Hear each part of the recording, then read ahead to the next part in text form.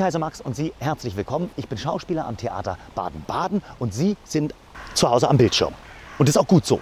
Aber damit Sie zu Hause am Bildschirm nicht eingehen, gehe ich für Sie aus in die Stadt. Die Stadt kommt zu Ihnen nach Haus. Und hier haben wir einen wundervollen Brunnen, zu dem es eine ganz tolle Geschichte gibt. Es heißt, früher hätte mal ein Baden-Badener vielleicht ein Rentner, nicht wahr? Möglich wäre es, eine Statue auf dem Augusterplatz umgefahren. Ja, früher sind die Rentner noch viel schneller gefahren. Ich habe gehört, jetzt ist das anders, als hier Zone 30 eingeführt wurde. Da sollen sich ja etliche ältere Herrschaften beschwert haben und gesagt haben, nee, so schnell will ich nicht fahren. Damals aber hat man sich entschieden, man muss ja hier eine neue Statue hinstellen. Und in der Kunsthalle wurde gerade eine schöne Statue ausgestellt, nämlich die da. Und die hat man dann, nicht wahr, äh, nochmal hergestellt und hier hingestellt. Und jetzt kommt's.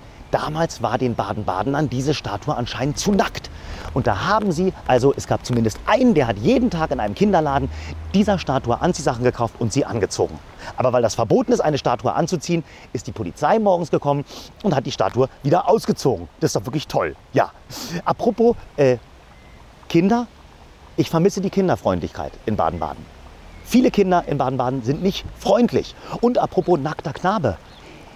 Ich habe gelesen, das Gesundheitsamt hat rausgegeben, jetzt in Corona-Zeiten reicht es vollkommen aus, wenn man mit Handschuhen und Mundschutz rausgeht. Ich habe das probiert, machen Sie das nicht nach. Alle anderen hatten Pulli und Hose und so weiter an.